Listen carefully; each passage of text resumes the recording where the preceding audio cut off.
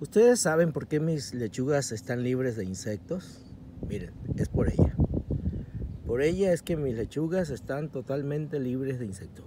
Insectos como ella se dedican a comer pulgones, ellos no comen hojas, no se alimentan de hojas, ellas única y exclusivamente se alimentan de larvas y huevecillos y de pulgones recién nacidos.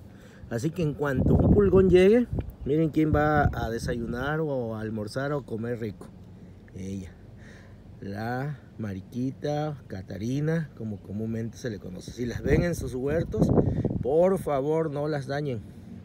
Esta es la razón por la que nuestros huertos los podemos, es una de las razones, se llama control biológico esto.